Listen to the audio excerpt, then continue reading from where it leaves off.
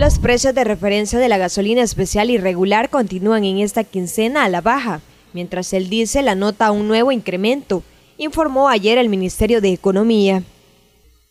Según Economía, la gasolina especial bajará 6 centavos de dólar en total en todo el país, quedando en 2 dólares con 87 centavos el precio de referencia para la zona central, 2 dólares con 82 centavos en la zona occidental y 2 dólares con 92 centavos en la zona oriental.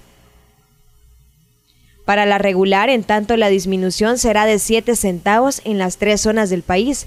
Con estas variaciones, el galón de este combustible tendrá un precio de referencia de 2 dólares con 67 centavos en la zona central, de 2 dólares con 68 centavos en la zona occidental y de 2 dólares con 71 centavos en la zona oriental.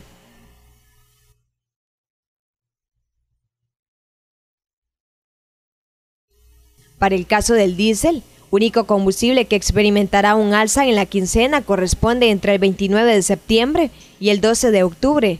Las variaciones son de un centavo más en el centro y occidente del país y de dos centavos en el oriente.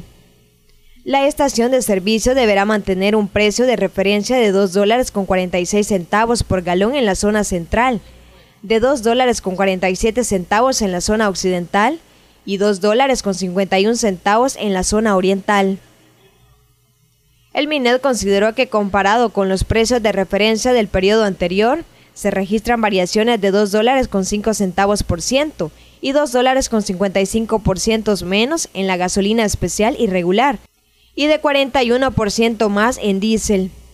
Esta es la sexta vez que la gasolina registra variaciones a la baja en la zona central, desde la quincena del 7 al 20 de julio, cuando reportaron sus precios más altos del año, 3 dólares con 34 centavos para la regular y 3 dólares con 82 centavos para la especial.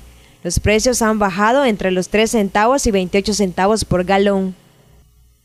Las reducciones acumuladas desde el 21 de julio de 2015 han sido desde los 67 centavos de dólar para el combustible regular y de 95 centavos de dólar para la especial. Por su parte, el diésel registró bajas consecutivas desde el 9 de junio al 14 de septiembre, pasando de registrar un precio promedio por galón de 2 dólares con 96 centavos en la quincena del 26 de mayo al 8 de junio. Su precio máximo del año es de 2 dólares con 44 centavos entre el 1 y el 14 de septiembre, cuando llegó a 2 dólares con 44, el precio más bajo del año. Desde entonces el combustible ha subido un centavo en las dos últimas quincenas. Las variaciones en los precios internacionales de los productos refinados del petróleo han influido en los precios de Centroamérica.